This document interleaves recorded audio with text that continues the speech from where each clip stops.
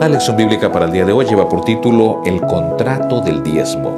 Malaquías capítulo 3 y versículo 10 dice así.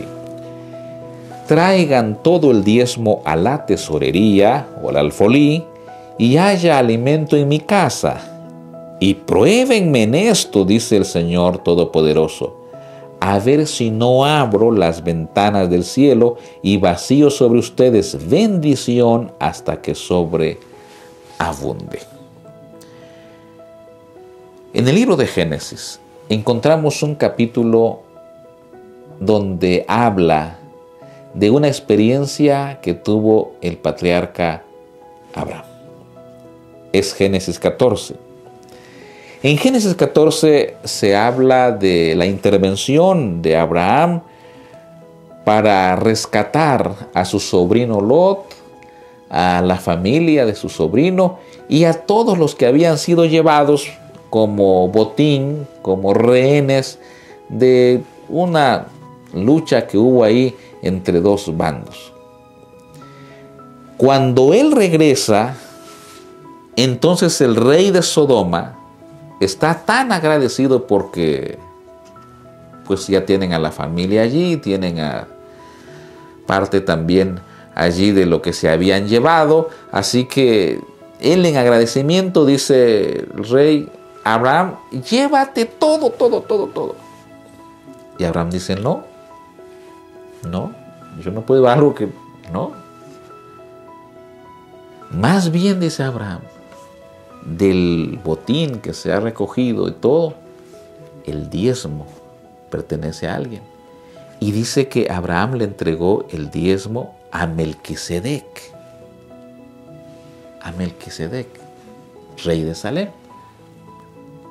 Ahora, lo interesante es esto. Cuando Abraham devolvió el diezmo, lo entregó, vino una promesa para él. Génesis 15.1. No temas, Abraham, yo soy tu escudo y tu recompensa será muy grande. No temas, yo soy tu escudo y tu recompensa será muy grande. La fidelidad de Abraham hizo que Dios de inmediato le diera esta promesa de bendición. ¿Qué lecciones podemos aprender para nuestra vida? Bueno, vamos a aprender allí tres lecciones. La primera, cuando Abraham fue fiel con sus diezmos, Dios le dijo, no te preocupes, seré tu protector y proveedor. Dios quiere ser también nuestro protector y nuestro proveedor. Seamos fieles a Dios. Segunda lección. Moisés también instruyó a Israel cuando estaba a punto de entrar en la Canaán. ¿Cuál fue la instrucción que él dio? Cada año apartarás puntualmente el diezmo del producto de tu campo para que aprendas a reverenciar siempre al Señor tu Dios. Deuteronomio 14, 22 y 23 cada año había ingresos por la cosecha.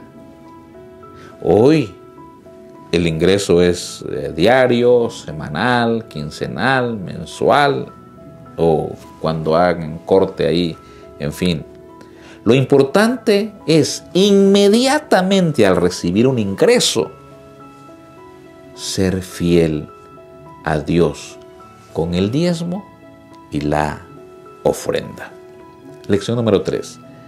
Dice una cita en Testimonios para la Iglesia, tomo 4, página 465. Ojo. Si todos los diezmos de nuestro pueblo fluyesen a la tesorería del Señor como debieran, se recibirían tantas bendiciones que los dones y las ofrendas para los propósitos sagrados quedarían multiplicados diez veces y así se mantendría abierto el conducto entre Dios y el hombre. Que tú y yo seamos fieles con Dios. Dios te bendiga. Soy Obrero. Recuerda, hoy es el día de tu salvación.